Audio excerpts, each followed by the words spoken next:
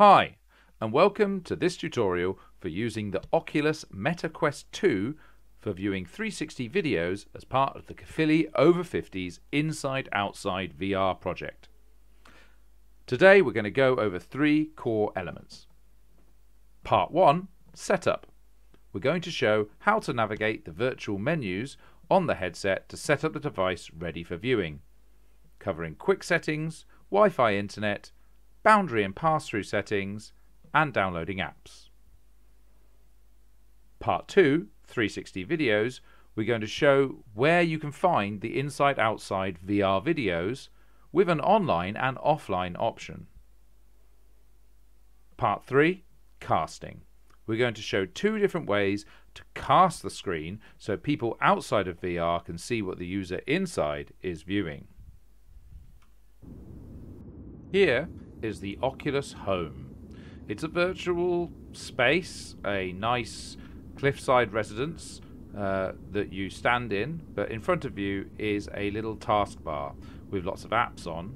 And to access them, you use this controller that has a trigger that you can use to point around the space with a little laser pointer, and it acts a lot like a mouse would on a computer.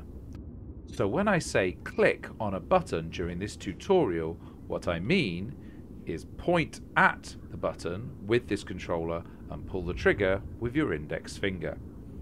There are many other buttons on the controller, however, we will not be using most of them except for very specific circumstances to keep it nice and simple. First, we're going to access the quick settings by clicking on this area around where the time, Wi-Fi and battery symbol is on the taskbar. I admit it's not hugely intuitive, but you do get used to it. Here you can see some of the settings I want to cover in part 1, Wi-Fi, boundary and pass-through. In Wi-Fi, it's very similar to any modern Wi-Fi device.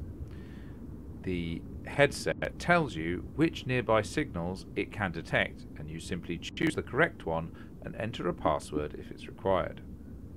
Just a reminder that some venues, like care homes, might have more restrictive Wi-Fi in which the device needs registering with the IT slash admin team there.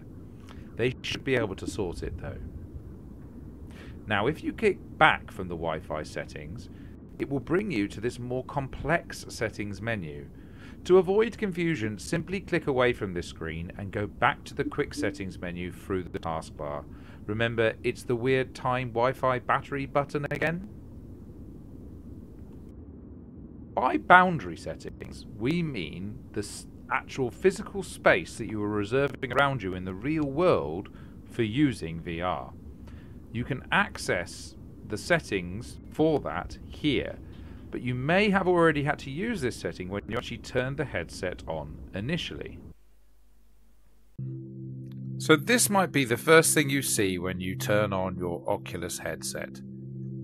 It'll say confirm boundary and what you won't be able to see on this video is that below me is a large blue circle showing that I am in a stationary position.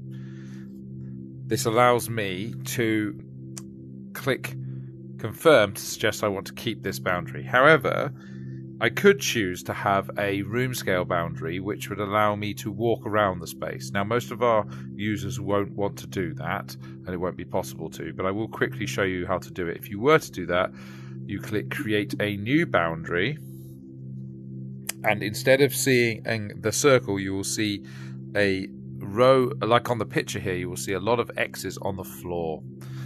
And you can use your controller to touch the floor to to say where you want the floor to be, and you confirm that, and then you actually draw a space on the ground around the space that you want to walk around. A better picture of what's going on here in the animation because you won't be able to see my marks on the floor through the recording. However, we are going to use a stationary boundary and we're just and because it just works better with a sitting clear experience, so we're just going to press confirm. That sorts out the boundary. And if we were doing this through the quick settings menu, we would find ourselves back on here, boundary. However, you may just choose to not use the boundary settings and instead use just pass through. If you use pass through, all you're doing is clicking this one, and instead of uh, there being the virtual space around you, what you can't see here, but I guarantee is here, is my office around me. So it's using the cameras on the outside of the headset to tell me where I am in the real world using a black and white camera image. Uh, so I'm actually sat in my office. I can see that all around me, but uh, you can't. Um, that means uh, yet you won't have the 3D space and you can't walk around it, but it does give you a very good, solid uh, experience in terms of just being sat still. From pass through, I believe if we do choose to access some videos now, it will allow you to do that from a pass through position. So we may not need to use the virtual spaces at all, and we can use pass through to access these videos.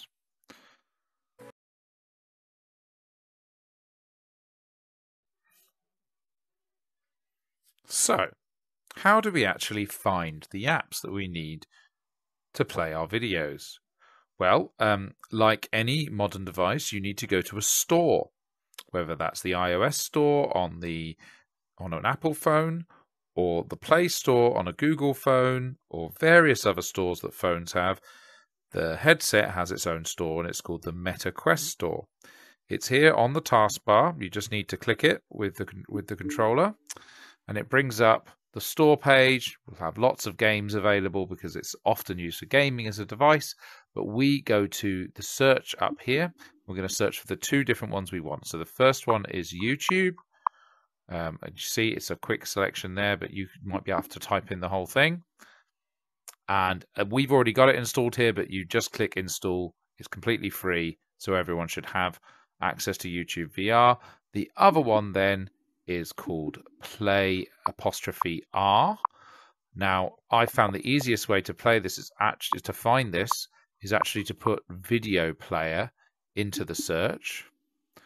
Because if you search for video player, it'll bring up these apps and then now this is where I need to show you one thing on the controller that otherwise is uh, we haven't used, which is this. Can, can you, if you can see the joystick, the joystick allows you to scroll down the page. So we've put in video player. We've got some apps that we don't want to run. So we're going to use the stick to drag down and see the app lab area. Now, this is where we can see apps that are still in development, but they are free and work quite well. We found this video player one works really well with what we want it to do.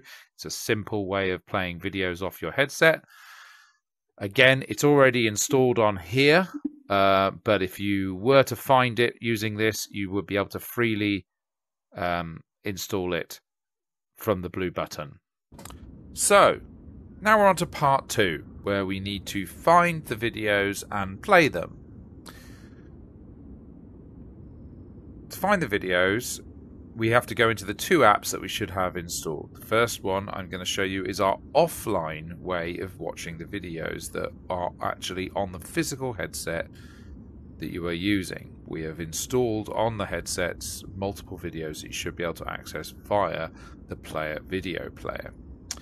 We've got this on the quick selection here. If you don't have it here, you might find it here in the library button that you can access from the standard uh, squares icon that most um, mobile device happens to access your library of uh, applications. We will just uh, find the Play'a video app there and pull the trigger or click to access it. Once we're in Play'a, we're presented with this quite complex view of all the files on the device. Now, we don't need to access any of these. We just want to try and find our videos. Now, on the videos that we've already got, on the headsets that we've set this up on, we you should find the videos pinned under My Pinned Files. Here you'll find all of the headsets that are on all the videos that are on the headset locally. And uh, they're probably about 60% of the full of the amount of videos that we've got totally. Um, but they're usually the best ones. And to play them you very simply just point your laser pointer at them. In this case my controller has turned into a hand. And you pull the trigger to click on it. So again, we're going to load up Lakeside uh, at, at Roath Park and it will go back to anywhere you were previously if you're watching the video. So I was watching this earlier, so we're about two minutes in. And you can see there, I am recording this lakeside view. If you want to pause it at any point, you just need to click on pause. If you want to get rid of this menu while playing to get your full view, you um, can either just need to click away. If you just click on the picture, it will remove it. And you get um, just the imagery. Now, you might find that your user is sat in a way in the room that they're not actually facing the front of the video, that maybe they're looking at where the action isn't happening and you w- want them to be facing the direction that they're moving, particularly with motion sickness, it can be quite important. If you bring up the menu again by just clicking anywhere, this button in the middle, the square with a circle in it, will recenter the view.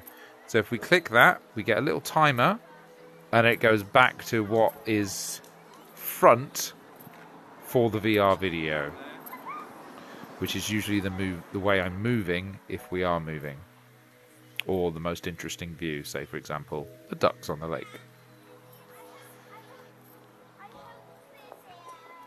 There are options for repeating or looping videos if you want to, uh, but I will let you discover those yourself.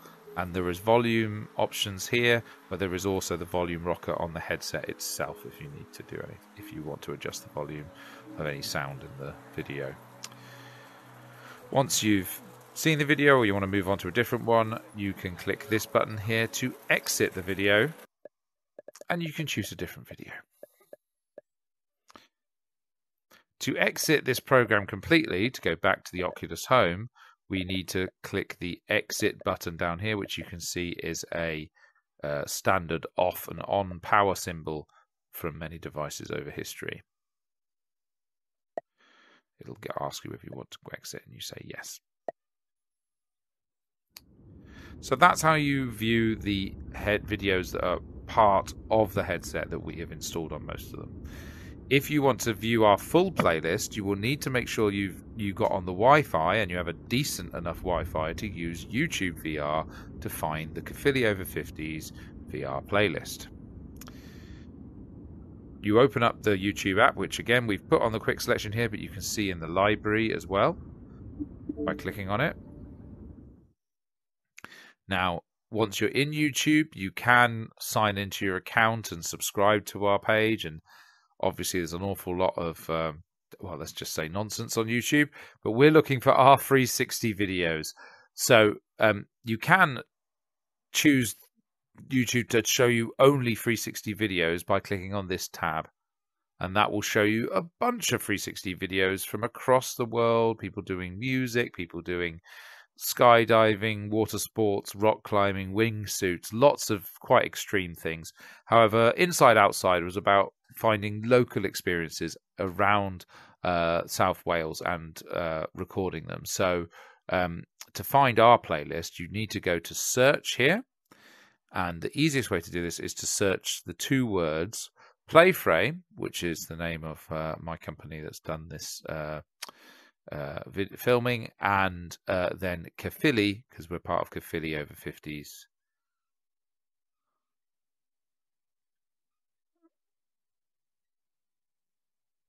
If you search those two terms, you will find the Caerphilly's 50 plus VR project Playframe, and this is a playlist. So this is all the videos we've done for the project. If you click this, you can select any of them individually, or you could just click play all, and then you will always have a list of them on the side to choose from if you go into the menu. So this is the same video, it's the beginning. As you can see, you might see, is that it's actually quite lower quality than the on the, than the video version that's actually on the headset itself. Um, but the fact that you have all the videos accessible is uh, is wonderful, and if you have a better internet connection, you may be able to increase the quality if you choose to. Now, like the other video player, To access the menu, you just need to click anywhere and it will bring up the pause and in this case skip and volume and, and the tracking options to choose a part in the video. But also we've got the entire playlist here, so we can just skip to the next one. We can go to the falconry show, for example. Dreaming of a beautiful lush And then obviously, quite summer? frustratingly, we have Gardena adverts because this is quality YouTube. tools for Um, this is the falconry show that we recorded at the National Botanic Garden of Wales. Um, obviously, if you subscribe to the channel, it makes it easier to for you to find these futures videos. Now, again, if you find your player, your person facing the wrong direction, they are sitting in the room in the wrong way, and for some reason, when they look at the video, they seem to be facing not where the action is happening. In this case, instead of recentering, we have uh, we actually just drag the viewer around, which is in a way more flexible because if it fi- if you find that the action's moving and the person is not turning their head, you can turn it, you can turn the video for them. So what we do is we use the controller, and in this case, the click or the the the trigger is like a grab.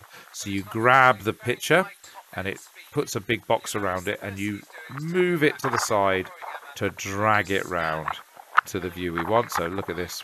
Now we can actually see the beautiful bird as it flies away. To quit the YouTube app, we have to, instead of using an off button like the other player, we need to use the Oculus button on the actual controller that you can see just below the joystick. When you press that, you are presented with this user interface screen where you can quit the application that you are currently in, taking you back to the Oculus home. In part three, we're going to show two different ways to cast a screen so that people outside of the VR experience can see what the person inside is seeing.